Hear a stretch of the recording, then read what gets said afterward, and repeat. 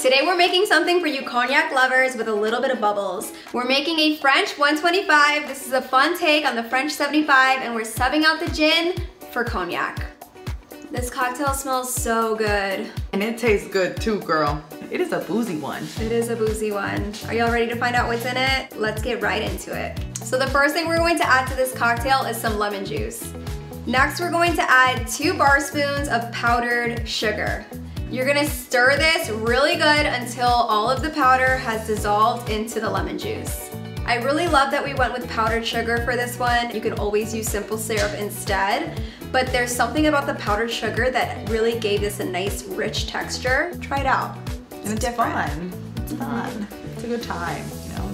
Stir it up. Mixing it up. Stir it up. It's almost like you're making a cake when you're mixing that up. Next, we're gonna go in with an ounce and a half of cognac. We used Branson's VSOP for the cognac in this cocktail. We get our bottles through bottleover.com. They deliver directly to your doorstep. Go check them out.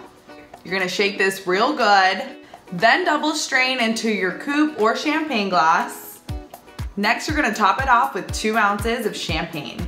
Express a lemon peel over your cocktail. Make sure to go ahead and run the peel all around the rim of the glass.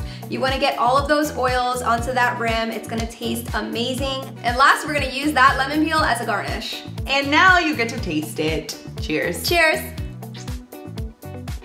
I really like this one.